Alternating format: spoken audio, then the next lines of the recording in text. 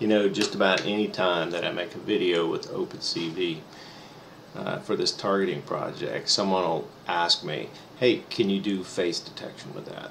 Well, I'm not really interested in face detection or face recognition, but the answer is yeah, of course.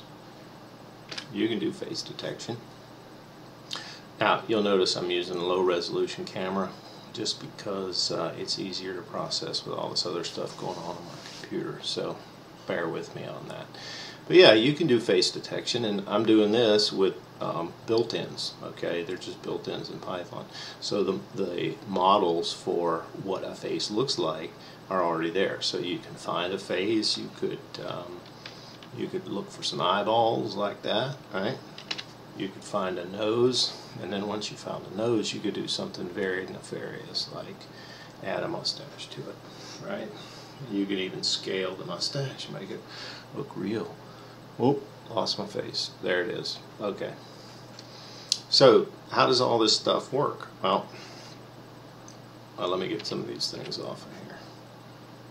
Uh, there we go. Let's just go with that.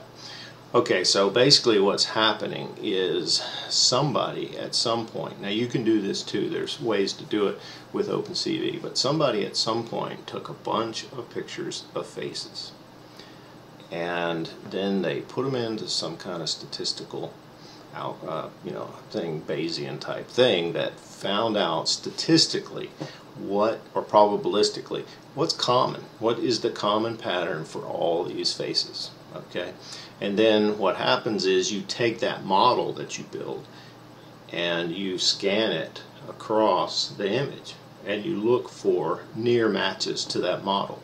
Then when you find a near match, then you examine it more closely and make a determination of whether that really matches the model or not. So it's kind of a cascading effect of, for that algorithm, and they call it a cascading algorithm. So you do a general quick scan, and then when you find something then that might match, then you do a more detailed look at it. Okay, and all this stuff's built in. Um, I'm using built-ins for this. So if you and then once you find that if you want to look for let's say in our case we're looking for noses. So you want to look for noses then don't you don't look in the whole image you just do so someone has built a model of what noses look like right by scanning a bunch of little nose photographs. And then you just scan what you've identified as a face. You scan that and look for noses okay? Or if you wanted to do facial recognition then you identify hey this is a person's face and then you have them have to have a model for a particular individual and you can see how well that matches okay? So that's what you're doing. It's really pretty simple and it works pretty well okay? Now let's see. I was goofing around kind of testing some things to see how well it works now of course you realize it, it works. This is a frontal face model Okay, so as soon as I turn like this, it doesn't look, and then you'd have to use a profile face model. There's actually one that comes with uh, OpenCV, right? A, a profile face model. Let me turn the nose off. Okay, so I was just testing around to see what it would recognize. And I was trying this. I could not get it to recognize this, right? So I got a little more complicated. I tried this one. Every now and then I can get it to do something with this one, but it doesn't have enough features. You know, I was thinking, oh, it just would pick up on the eyes and maybe, you know, but that's not enough. The algorithm's is a little more complicated than that, or the pattern is. But with this one, I was able to get it to match on this one.